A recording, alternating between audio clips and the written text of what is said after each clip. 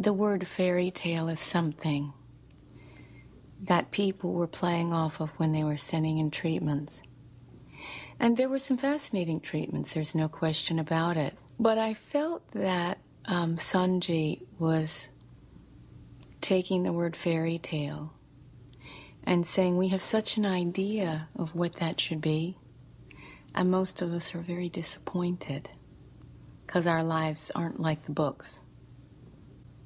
And who wants them to be, really? I mean, if you look at it, it's, I mean, I don't eat Wonder Bread.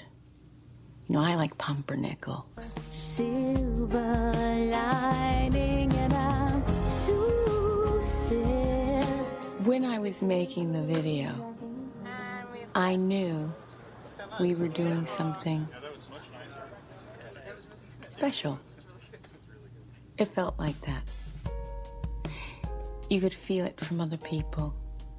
And there was a desire that everybody had to explore this one. On my way up north, up on the Ventura.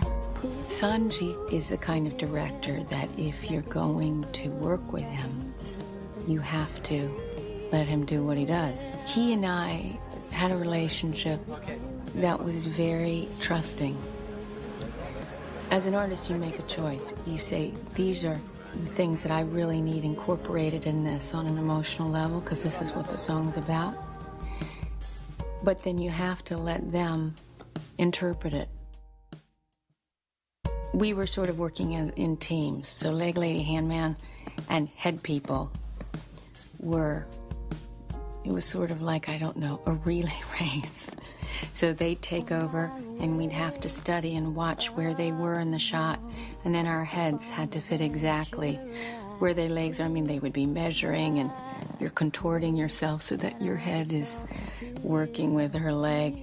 And the effects guys are right there with you, measuring, talking you through it. It was very, it was very intimate. I think physically, I was having to do things very in a very controlled way. As a pianist, it's a different kind of discipline physically, not moving for minutes at a time and then tilting ahead a millimeter. That's a very different discipline than being able to play and get the music out. It wasn't an airbrush set. We really were at these places, and the green screen was there but on location green screen, which I enjoyed. So you're really in the gutter in LA. That really is pigeon poop.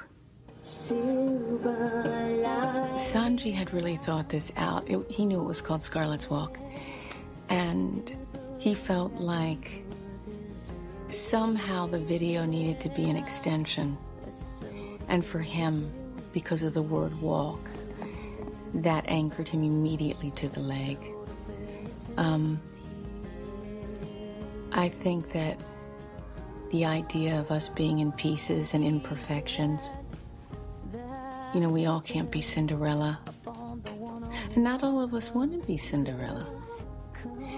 But sometimes we don't really know how does our story fit into a fairy tale. Because sometimes, you know, the prince is a frog and you don't end up with him, but you, you know, you still get your little story.